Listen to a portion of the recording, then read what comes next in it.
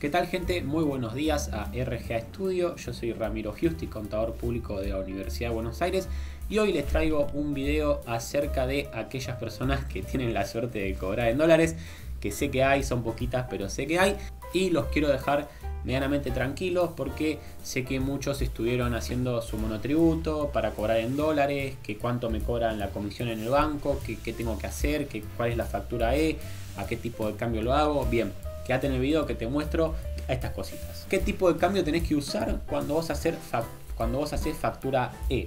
¿Por qué? Porque vos vas a cobrar, por ejemplo, ahora los nuevos, ¿no? Por si sos youtuber, freelancer, tenés un cobro en dólares y lo querés pasar por el banco, te dejo un video por acá donde explico que tenés hasta 12 mil dólares anuales sin la necesidad de liquidarlos al tipo de cambio oficial. Es decir, vos vas a poder retirar esos dólares en papelito o vender o hacer lo que quieras con esos dólares que tenés en el banco no te lo van a liquidar al dólar oficial.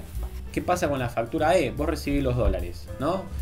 Bueno, lo vas a vender al dólar oficial. Más no creo que haga la gente. Yo no lo vendería al dólar oficial, sino que vería el mercado paralelo, mercado informal, donde puedo vender los dólares, cuánto me dan. Entonces el dólar MEP por lo general está un poquito alto y yo bueno, el dólar lo vendo en el dólar MEP o lo vendo al dólar blue. Y ahí recibo esos pesos.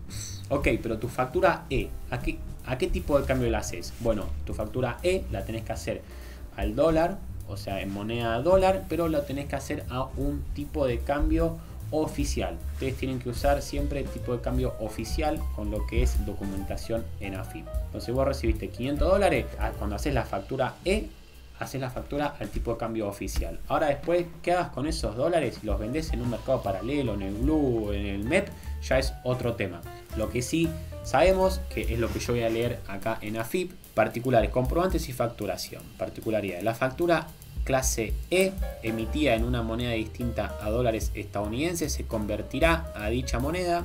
Para ello primero se convertirá el importe total facturado a pesos argentinos considerando el tipo de cambio comprador divisa del Banco Nación Argentina de la moneda extranjera en la que ha sido confeccionada la factura y posteriormente se transformará a dólares estadounidense utilizando el tipo de cambio vendedor divisa vigente del mismo banco al cierre del día hábil cambiario anterior a la fecha de la emisión del comprobante.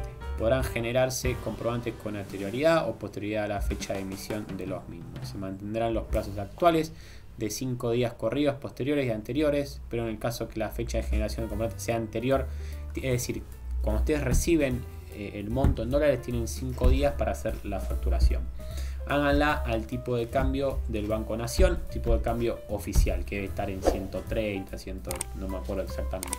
Pero ese es el tipo de cambio que ustedes tienen que tomar para hacer la factura. Después, ¿qué hacen con los dólares? Ya es otra cosa. Bien, coméntenme a ver si tienen alguna duda, una pregunta la cual yo pueda responder a través de, este canal, que sé que estamos teniendo mucha interacción y está bueno. La verdad que está bueno conocer de estos temas para saber cómo nos manejamos, para ver si estamos en regla o no estamos en regla.